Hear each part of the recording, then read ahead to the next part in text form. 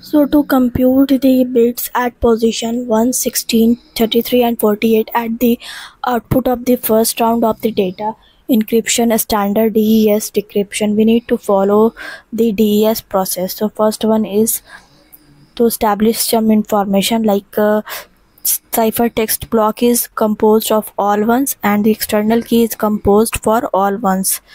So with this information we will proceed the decryption process. So here is the high level overview of the process. Initial permutation round one and final permutation.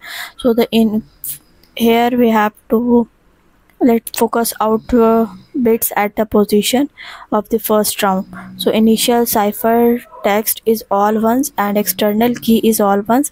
And apply the initial permutation ip bit 1 of ciphertext becomes bit 58 of ip bit 16 of ciphertext becomes bit 50 of IP. After IP, a bit 33 of ciphertext become bit 42 after IP and bit 48 of ciphertext becomes bit 34 after IP. In the first round of the DES decryption, all subkey are composed of all ones and after the first round the position are as follows. So these are bit 1 corresponds to bit 32 of initial ciphertext. Bit 16 corresponds to bit 16 of initial ciphertext. Bit 33 correspond to bit 1 of initial ciphertext. And bit 48 correspond to bit 17 of initial ciphertext. So the final permutation fp is applied for the final output.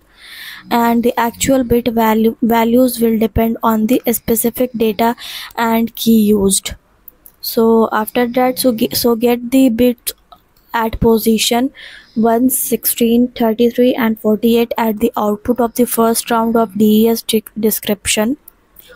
So you would need to go through the decryption steps and the actual value of these bits depend on the specific data and keys used in the encryption so here can't provide the exact bit values knowing for the actual input data so these are all the steps for making this question.